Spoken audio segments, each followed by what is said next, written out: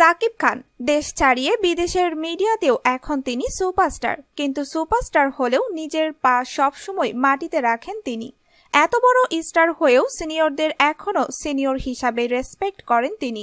সাকিব খান গতকাল বের হয়েছিলেন বেশ কিছু কাছের মানুষের সাথে সময় কাটানোর জন্য।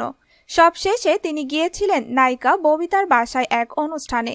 আপনারা সবাই জানেন, ববিতা সাকিব খানকে নিজের ছোট ভাইয়ের মতো করে দেখেন। সেখানে সাকিব খানের সাথে গিয়েছিল অপু বিশ্বাস আর তাদের একমাত্র সন্তান জয়।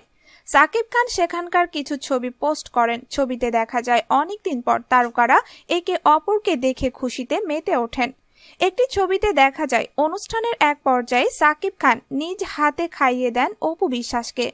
ববিতার কথায় ইঙ্গিত পাওয়া যায় ববিতার বাসায় সেদিন সাকিব অপু ছিলেন খুবই অন্তরগ্ন। তাদেরকে খুবই সাবলীল ভাবে দেখেছে সবাই।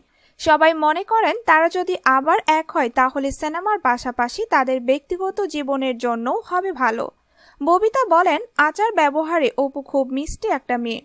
আর সাকিব আমার ছোট ভাইয়ের মতো। বলতে পারেন, আমার আর একটা সন্তান। আমি ওদের সঙ্গে আলাদাভাবে কথা বলেছি। ওরা আবার একসঙ্গে কাজ করতে চায়।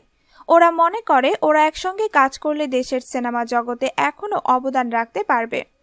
ববিতার সঙ্গে সাকিব অপুর সম্পর্ক অনেক পুরনো। কিছু আগে এক সাক্ষাৎকারে নায়িকা ববিতা বলেন, সাকিব অপু এখন আগের চেয়ে অনেক স্বাভাবিক। ওরা নিজেদের ভুল বুঝতে পেরেছে।